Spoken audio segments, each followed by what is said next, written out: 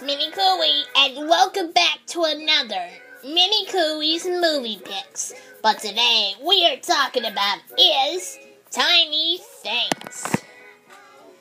And now, let's get things started. First up is A Bug's Life from 1998. Rotten Tomatoes, 92%.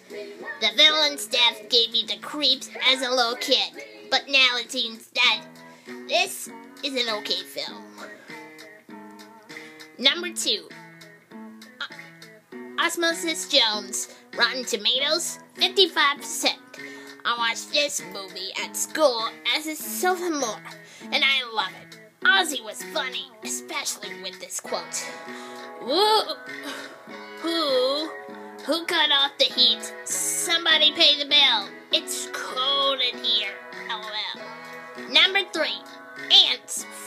Rotten Tomatoes, 93%. Antz is no bug's life. It is very difficult for sad film.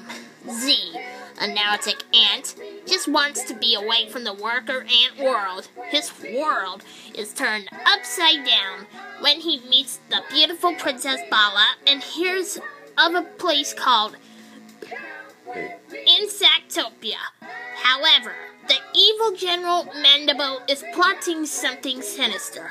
While Z and the other ants stop him in time, featuring the voice talents of Woody Allen, Sharon Stone, Sylvester Stallone, Jennifer Lopez, and more. This film will entertain you, and fans of DreamWorks animation will definitely dig this one.